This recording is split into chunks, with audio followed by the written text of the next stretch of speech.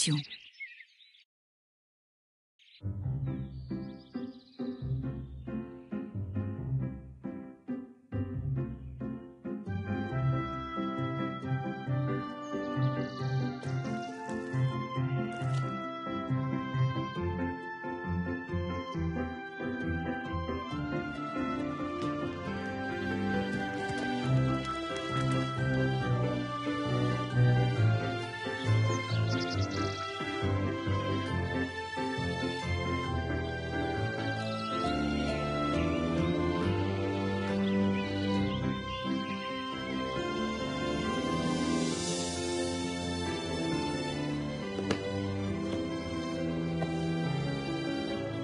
Est formidable. Ces pierres sont tellement belles. J'espère qu'un jour j'aurai une aussi belle collection que la sienne.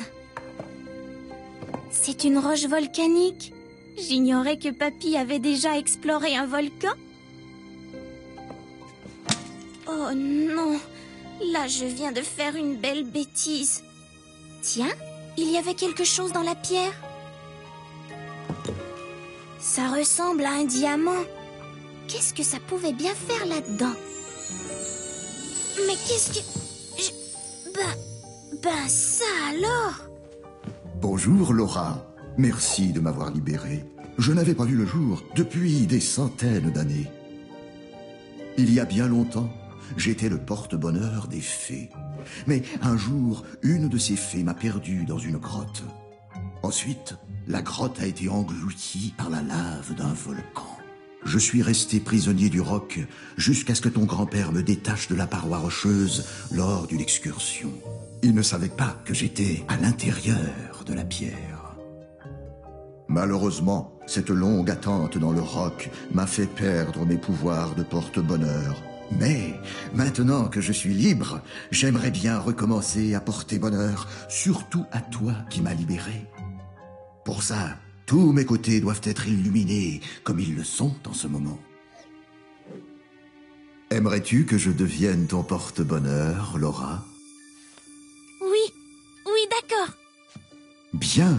Pour me rendre complètement lumineux, il faut tout simplement faire plaisir aux gens.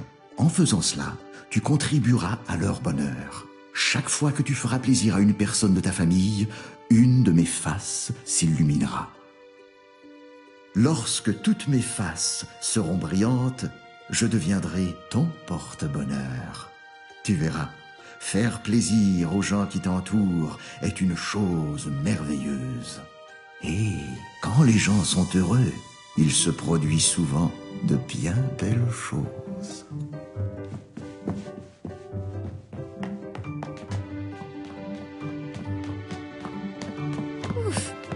Toutes les choses que j'ai vues, celle-ci est la plus étrange.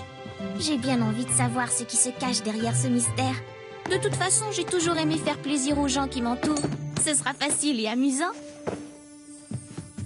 Bon, faire plaisir aux gens qui m'entourent.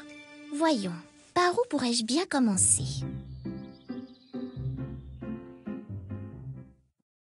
Jouer.